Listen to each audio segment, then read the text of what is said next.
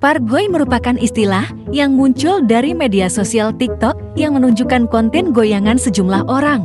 Pargoy merupakan kata yang berasal dari daerah Sumatera Barat yang merupakan akronim dari Partai Goyang. Yang bener. Hah?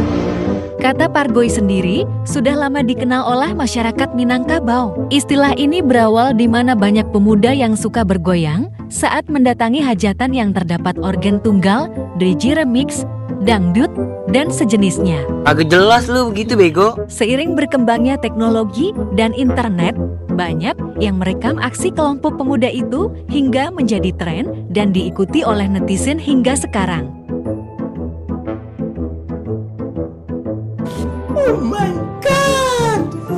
Wow! Karena saking tingginya tren pargoy, aksi ini juga dilakukan oleh berbagai kalangan dengan menambah tagar pargoy, konten-konten berisi goyangan dari suatu kelompok akan bermunculan sebagai FYP di media sosial TikTok. Ih, enak nih. Hmm, coba ah. Teknisnya, pargoy merupakan goyangan berjoget dengan mengikuti irama, dengan tangan ikut meliuk ke kanan dan ke kiri, ditambah goyangan punggul yang sedikit melanggok.